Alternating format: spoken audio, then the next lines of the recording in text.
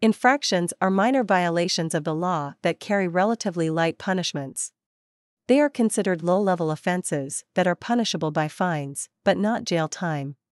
Examples of infractions include traffic violations, littering, and jaywalking. When someone commits an infraction, they usually receive a citation or ticket, which requires them to pay a fine or appear in court. The purpose of these fines is to discourage people from committing the same offense in the future. Understanding infractions is important because it can help you better understand your legal rights and responsibilities. If you are issued a citation or ticket for an infraction, it is important to take it seriously and either pay the fine or appear in court as required. Failure to do so could result in more severe consequences, such as a warrant being issued for your arrest. To learn more about this and other types of criminal charges, visit attorneyatlaw.com.